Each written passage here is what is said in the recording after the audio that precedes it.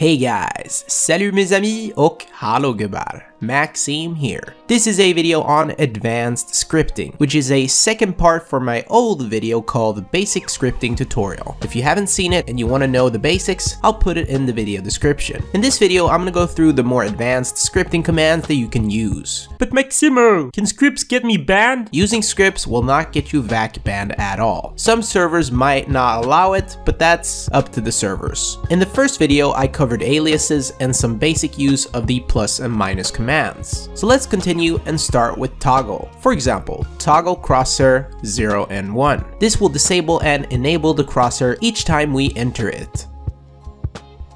Another example is changing the volume of the game, like this. Toggle volume 0.5 and 0.8. Each time we enter it to the console, the value changes back and forth.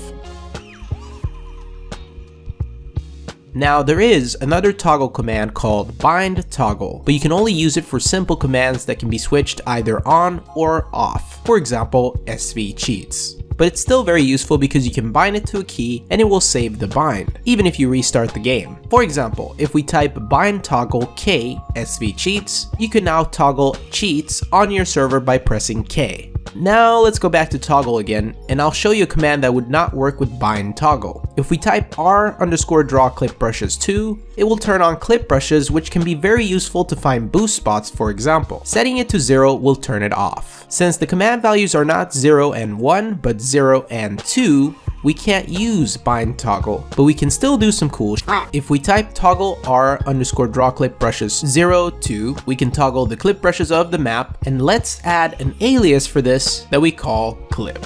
This means that you can use your new custom command clip to toggle clip brushes. And now we can bind clip to a key to make it work. The next thing I want to teach you guys is how you can change plus and minus commands to act as toggles.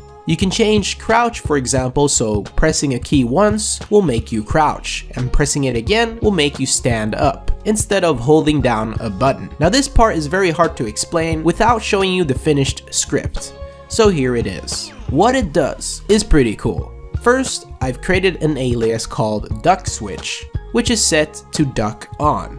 When you press your key, in this example it's control, duck switch will read this line also known as duck on, which means it will make you crouch. But it will also tell duck switch, the alias, that it's not duck on anymore. It's now set to duck off. This means that if you press control again, it will read from this line, also known as duck off, instead of this line. This also means that you will stop crouching and once again, it will tell duck switch the alias that it's not duck off anymore. It's back to duck on. Basically what you're seeing is an infinite loop, fooling the system to rename the alias duck switch from duck on to duck off each time you press control. You might need to replay this part of the video to understand it better, but if you did understand it the first time, then you're pretty smart. Another example of using this is for the scoreboard, which uses plus score and minus score. You can replace duck with score if you want and give the aliases new names, and now you only need to press your key once to toggle the scoreboard on or off. If you want more ideas of what you can do, you can type plus in the console and find all the commands that you can potentially change into so-called toggles. Next command to learn is increment var, which lets you choose many values inside one command. For example, CL crosshair color will change your crosshair's color. You can go from 0 to 4 and get different colors. So how can we use increment var for this example? First, we type increment var CL crosshair color. Next, you need to select your start value, which is 0 in this case, and your end value, which is 4.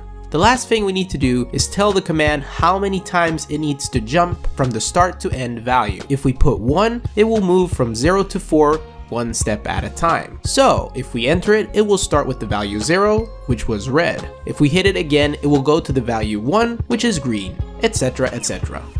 We can now see that the crosshair color value is at 4, so if we do it one more time, it will go back to 0 again, which was red. We can also create an alias for this, let's call it color change. And just like before, we can bind color change to a key now. Let's continue by creating an alias which loads the color change script each time we shoot. We can do it like this for example.